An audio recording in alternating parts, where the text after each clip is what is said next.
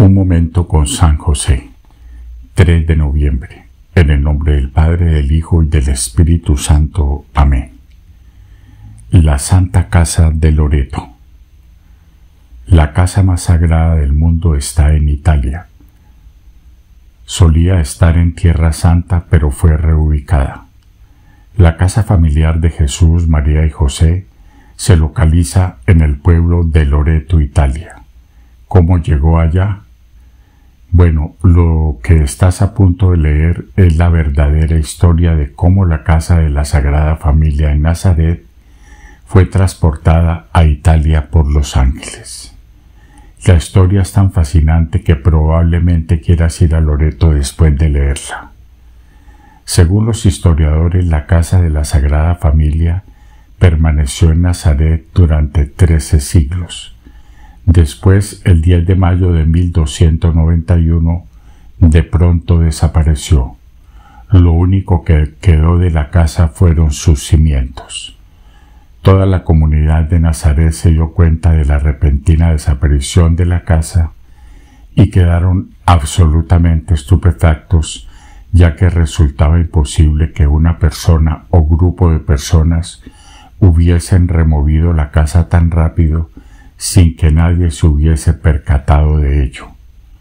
Según la tradición, la Santa Casa fue transportada fuera de Nazaret por los ángeles. En los reportes de sus experiencias místicas, la beata Ana Catalina Emmerich habló sobre la transportación angélica de la casa afirmando He visto muchas veces el traslado de la Santa Casa a Loreto yo no lo podía creer, a pesar de haberlo visto varias veces en visión. La he visto llevada por siete ángeles que se cernían sobre el mar con ella. No tenía piso y en lugar de suelo tenía un fundamento de luz y claridad. Por ambos lados tenía como agarraderas, tres ángeles la sostenían por un lado y tres por el otro para llevarla por los aires. Uno de los ángeles volaba adelante arrojando una gran estela de luz y resplandor.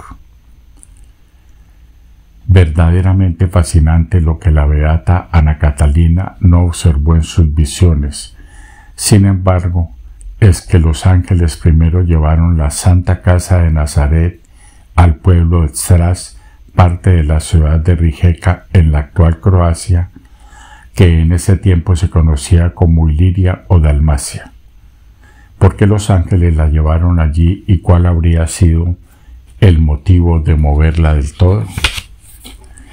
La Santa Casa fue reubicada en 1291 y la razón por la cual los ángeles la transportaron fuera de Nazaret se supo claramente tres años después. En 1294 todo el pueblo de Nazaret fue saqueado por los invasores musulmanes. Si la Santa Casa hubiese permanecido en Nazaret, los musulmanes la habrían destruido por completo. Dios anticipó el acto sacrílego y envió a sus santos ángeles a reubicarla en otro lugar. A lo largo de los siglos, Dios ha usado a personas tales como Santa Elena, para reubicar reliquias, objetos santos asociados con Jesús, María y los santos, de Tierra Santa a lugares más seguros.